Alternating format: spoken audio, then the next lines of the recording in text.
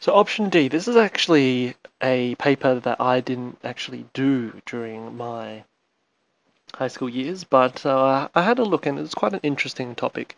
The first thing we're going to talk about is transient polymorphism, and we needed to talk about what it is or describe it. Now, this occurs when there are two or more alleles in the gene pool. Say, for example, the um, uh, there's a particular type of moth that was found uh, during the Industrial Revolution in England, and normally it had it has two particular alleles, one for a black-colored moth, one for a white-colored moth. Now, one of those alleles is being rapidly replaced. That's why it's transient. Transient means that it's only there temporarily. In the case of the moth, the uh, the white moth was being the white moth allele rather was being replaced by the black moth allele because the black moth allele uh, the black moths were more well adapted to the polluted environment than the white moths. And then due to the large um, external pressures, which in this case was, a, uh, was the additional pollution found in the Industrial Revolution environment. So remember those three points and give an example. The easiest example I've found is moth melanism. Melanism, melanism is uh, the blackness of the moth. Now the second question that we're going to talk about is punctuated equilibrium affecting the pace of evolution. And punctuated, you think of stop and start.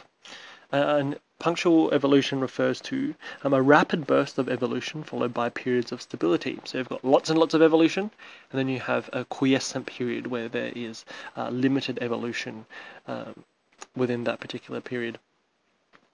And this is uh, evident. This uh, provides evidence for a few um, different uh, phenomena which are found in the world. But before we get to that, um, let's talk about the stable side of things.